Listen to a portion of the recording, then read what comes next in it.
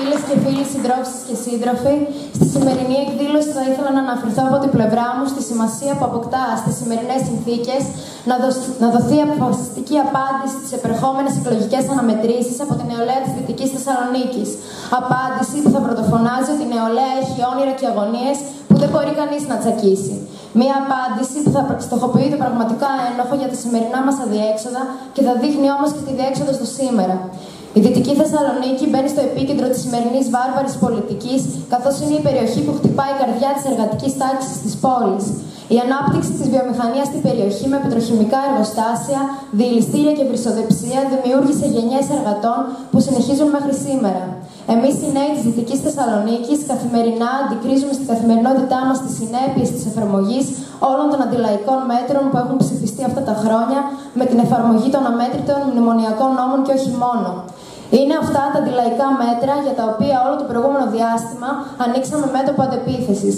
Είναι το μαθητικό και το φοιτητικό κίνημα που από την αρχή της χρονιάς ξεκαθάρισε με τις μεγάλες τους κινητοποιήσει στην κυβέρνηση και στον κύριο Γαβρόγλου ότι δεν ανέχεται ένα σχολείο εξεταστικό κέντρο που κοιτάει τη τσέπη μας και ένα πανεπιστήμιο πεδίο ανταγωνισμού των ομίλων και των επιχειρήσεων που τσακίζει το μέλλον μας.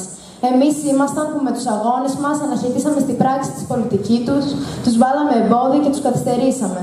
Αγωνιστική απάντηση δόθηκε και εχθές στις φοιτητικές εκλογές, με την πανσπουδαστική να εκλέγεται πρώτη δύναμη σε 66 τμήματα πανελλαδικά, 15 στο Απιθύτα, με αύξηση 5% στην πόλης της Θεσσαλονίκης, με πρωτιέ για πρώτη φορά σε συλλόγους όπως τα ΤΕΦΑ και την ιατρική, με τους φοιτητές να εκλέγουν αγωνιστικούς συλλόγους που θα εναντιώνονται στις πολιτικές της κυβέρνησης, της Ευρωπαϊκής Ένωσης και του κεφαλαίου και θα διεκδικούν και θα οργανώνουν τον αγώνα της σπουδάζουσα νεολαίας.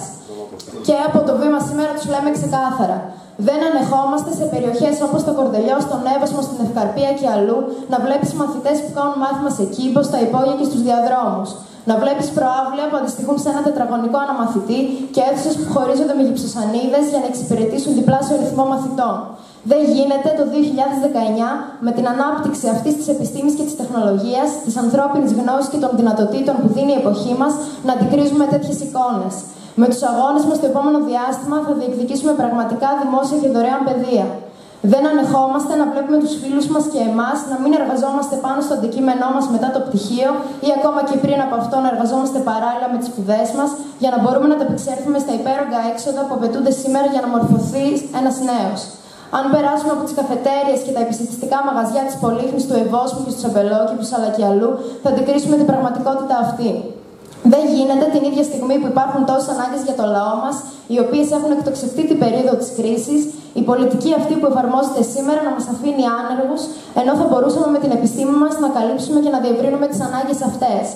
Στον αγώνα που δίνουμε χιλιάδες νέοι που έχουμε τις ίδιες ανησυχίες, που συναντάμε τα ίδια εμπόδια, πρωτοστατούμε στις σχολές μας μέσα από τις γενικές μας συνελεύσεις, να οργανώσουμε τον αγώνα μας για τη διεκδίκηση των σύγχρονων αναγκών μας για αύξηση της χρηματοδότησης των, των πανεπιστημίων από το κράτος, για ένα πτυχίο αναβαθμισμένο, με ολόκληρη και ολοκληρωμένη μόρφωση, χωρίς πετσόκομα της γνώσης, με πρακτική άσκηση ενταγμένη σε αυτό, ώστε να μπορεί να αποτελεί τη μοναδική προπόθεση για δουλειά για κατάργηση των διδάκτρων στα μεταπτυχιακά, ώστε ο καθένας να μπορεί να εξειδικευτεί στο αντικείμενο που αγαπά χωρίς να μπαίνει εμπόδιο η τσέπη του. Δεν ανεχόμαστε να βλέπουμε νέους σαν εμάς να οδηγούνται από τα διέξοδα της ζωής στην αρκοκουλτούρα και στη χρήση ουσιών.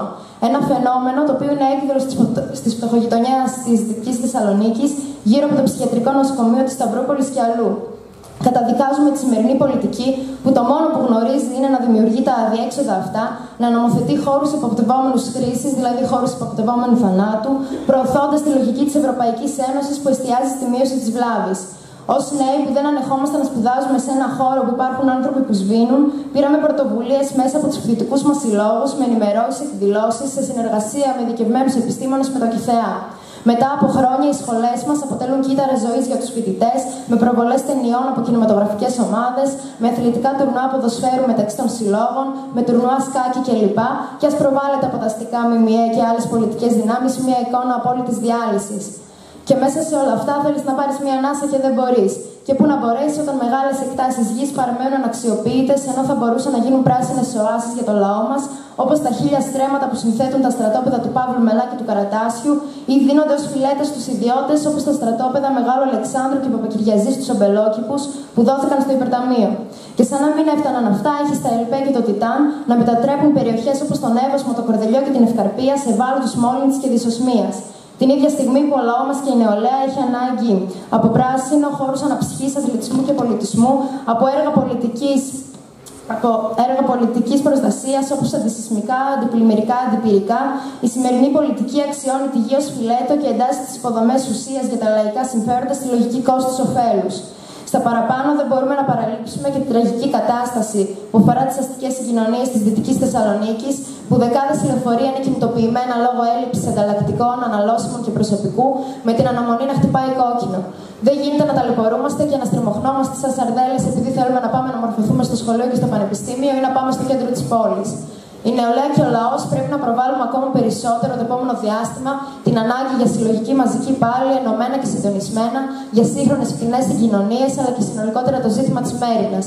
Είναι χαρακτηριστικό το παράδειγμα των φοιτητικών αιστειών, που κανείς δεν τολμά να πάρει την ευθύνη για τις άθλιες συνθήκες στις οποίες ζουν εκατοντάδες συμφοιτητές μας, για τις υποδομές που καταραίουν, για το εστιατόριο που ανοίγει και κλείνει ανάλογα με τα κέρδη της εργολαβίας, για το περιορισμένο αριθμό φοιτητών, μόλις 2% στο απειθήτα που γίνονται δεκτοί, την ίδια στιγμή που ανοίγουν συζητήσεις για την επιβολή ενοικίου στις αιστείες. Στην αυτή κατάσταση γεννιέται και τρέφεται το φαινόμενο του φασισμού, που στην περιοχή μας είναι πολύ έντονο.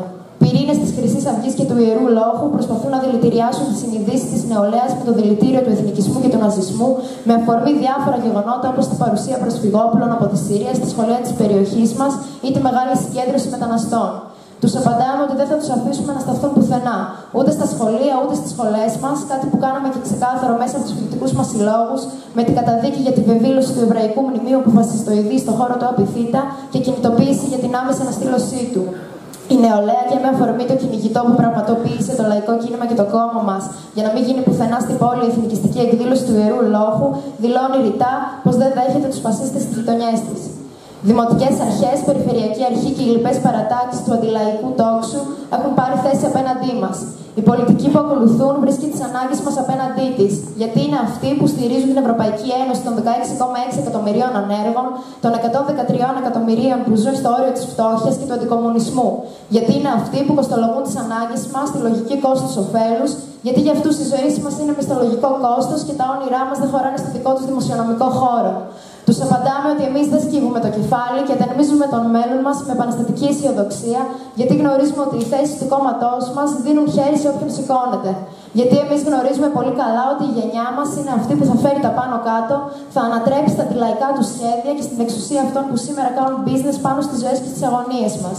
Μπροστά στις εκλογές αυτές, λοιπόν, η νεολαία ψηφίζει και ισχυροποιεί παντού το ΚΚΕ σε Δήμους, περιφέρειες, στην Ευρωβουλή και στη Βουλή.